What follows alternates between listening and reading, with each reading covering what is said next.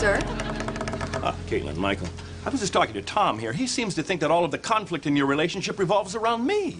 Oh, that's ridiculous. Yeah. Is it possible that you have some inner turmoil that the two of them are picking up on? Ever since this whole Senate thing came up, I have had trouble sleeping. Maybe you're anxious about a decision. Are you saying maybe I don't want to run? Whoa, whoa, whoa, whoa. E- easy there, quack in the box. Of course he wants to run for Senate. That's why he works so hard and never has a chance to meet the right guy.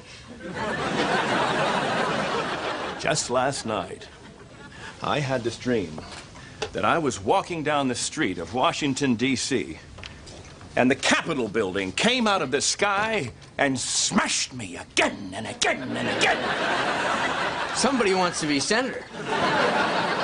You know, Mike, I think there may be another way to interpret that. Maybe I don't want to be a senator. Good. Go there. Explore. No, no, no, no. S- stay here. Stare at the floor.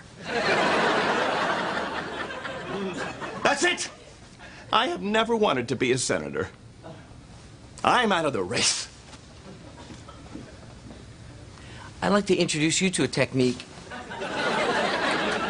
I call the ass whooping box.